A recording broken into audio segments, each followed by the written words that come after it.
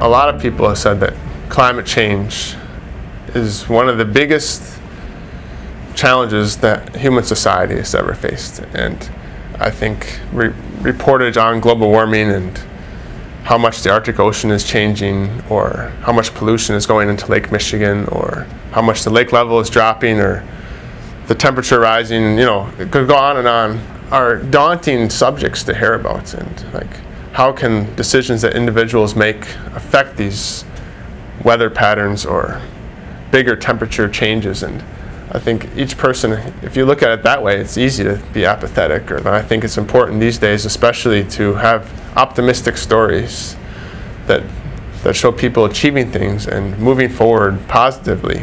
I think it's it's important to have that optimistic outlook when you look at a big, seemingly insurmountable challenge that you know human society will deal with, but it's hard to see how all the time. But if you keep moving forward positively, it will happen.